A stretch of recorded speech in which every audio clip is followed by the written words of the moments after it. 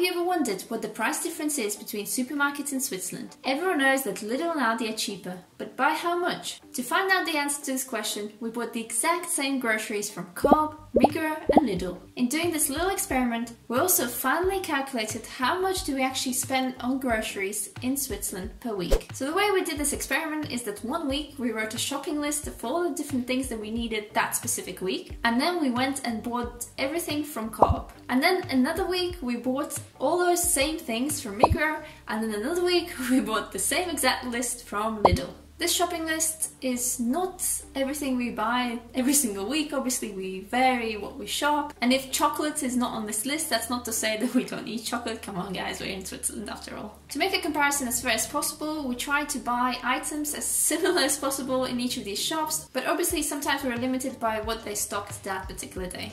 And once we did the shopping, I added up all the different prices to come to a total cost. I also adjusted the weight of all the weighable items like fruits and vegetables, so again, the comparison is as fair as possible. So what exactly was on our shopping list? So we bought bio tofu, hummus, Tress bread, whole milk, bio rice milk, plain yogurt, soy yogurt, Gruyere AOP surchoix, free range medium eggs, chicken fillets, fair trade bananas, apples, clementines, carrots, onions, broccoli, red peppers, courgettes, aubergines, mushrooms, potatoes, haricot beans, chickpeas, chopped or peeled tomatoes, fusilli or pasta spirals, and oats.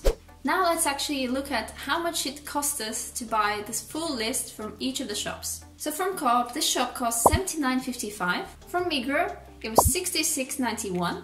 And from Lidl, it was 54.72. So for this particular shop, Migros is 16% cheaper than Coop and Lidl is 32% cheaper than Coop.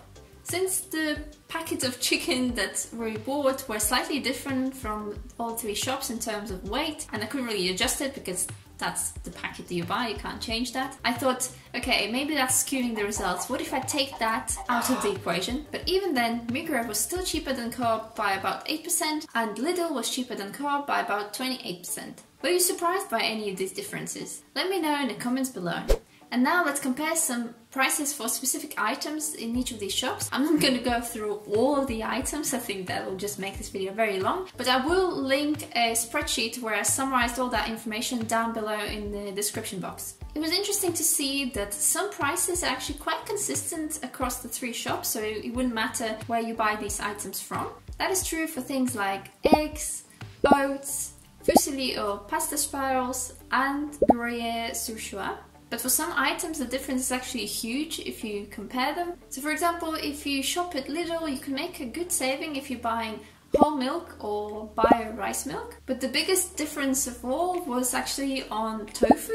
And for example, in Lidl, that costs 2.78 per kilo. And in Coop and Migros, the price varies between 13 and 15 francs per kilo, which I think is quite a crazy difference. For some items, the price in Migros and Lidl was actually quite comparable and that was cheaper than in Coop. For example, for these chicken fillets that we bought, in Coop they cost almost 20 francs per kilo, whereas in Migros and Lidl they were around 14 francs per kilo. And in some instances, Migros was actually cheaper than Coop and Lidl, and that was true for things like bananas and mushrooms. Watching the trend of how this is all going, you'd think that Coop is always more expensive than the other two shops, but that's not actually always the case. For example, for fruits and vegetables, Coop actually has a special line that's called Ünique, and under this brand they're selling slightly wonky or out of spec vegetables, which is great, which means they're reducing food waste, but also these items tend to be cheaper, and actually you can make quite a good saving by buying those and most of the time they taste great, they maybe look a bit funky but it doesn't really matter. So here in the shop we bought potatoes, red peppers and also carrots from this unique range and they were always cheaper than the alternative from Migros or Lidl. Mike actually also suggested this idea of looking at all the different things that we bought and making the best shopping combination. So which items would be best to buy from which shop, considering how much value you're getting out of your money. The interesting fact is that it's not always best to buy everything from Lidl. There are some items that are best to buy from Coop or Migros. So to get the best deal on our shopping list, we need to buy carrots, peppers, broccoli, and potatoes from Co-op. Then we need to get mushrooms, fair trade bananas, haricot beans, chopped tomatoes, and fusilli pasta from Migros and the rest does need to come from Lidl. But even then, if we get to a total from this best shopping combination, it adds to 53 francs 19. But if we remember how much was the total cost if we shopped all these different items just in Lidl, that was 54 francs 72. That's not actually that much more expensive than doing this best shopping combination. But obviously price is not the only factor that you consider when you're doing your groceries, so let's talk about pros and cons for each of these shops. The number one pro for all of these different shops is actually that in all of them it's quite easy to buy locally sourced foods like produce, eggs, dairy and meat, which is great. Another pro is that you can buy pretty much any fruit and veg without packaging. Overall, I'd say the quality in Co-op, Migros and in Lidl is really good. Obviously, sometimes you have a bit of a hit and miss with each of these shops, but overall, I wouldn't say there's one that's much, much better in terms of quality than the other. And all of the shops will have really good bio product selection. I know in other countries it's called organic. And for some products, the default option will be bio, so they won't even stock the standard option of it.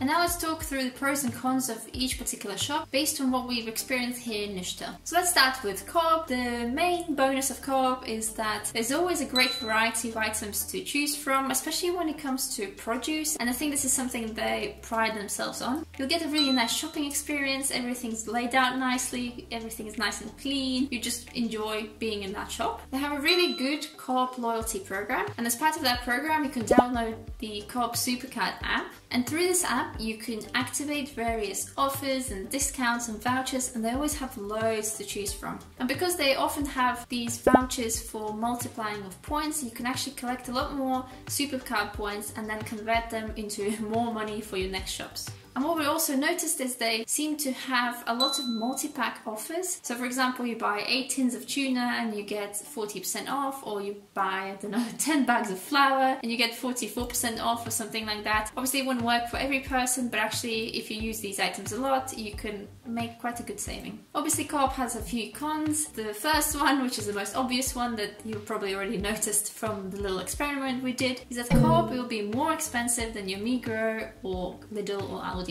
and it also seems that, at least in our shop, they stock a lot of items. And quite often, what you'll see is that they'll have a massive metal bin where they put all the things that are about to expire because they stock too much of it. And it seems like a really, really perfect storm to create a lot of waste, which is not great. Moving on to Migros. As a big shop, it has a good variety of items to choose from. Maybe it's not as great as Co-op, but still quite good. They also seem to have quite a good policy on food waste, which personally I really like. On their website, it's quite easy to find the data on how much food waste they generate. According to the data I found, they sell either at full price or reduced price or give away 98.6% of all their food and about 1.3% goes to animal feed and only 0.4% actually gets incinerated. They also partner up with an app called Too Good To Go which helps them to reduce their food waste and also for us as consumers we can actually buy some cheaper food sometimes through that app.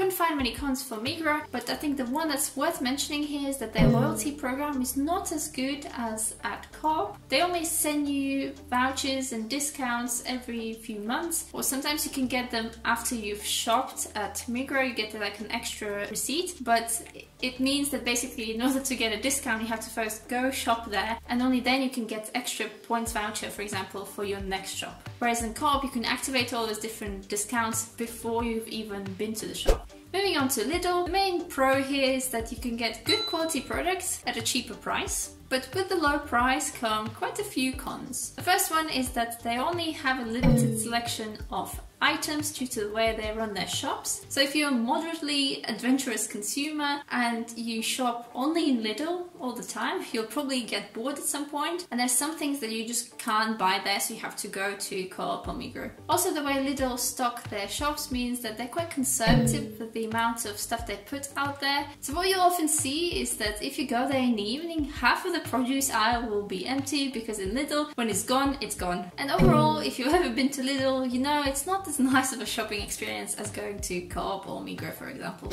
And now let's move on to how much we spend on our groceries. But before I tell you the exact amount we spend per week, I think it's good to give you some context of where do we normally shop and what do we normally buy. We tend to do one big shop a week, but then we always have one or two little top-ups because we always forget something or we run out of something during the week. And sometimes if we don't have time to go to Lidl, which is a bit further from us, we just go and buy everything we need from Co-op.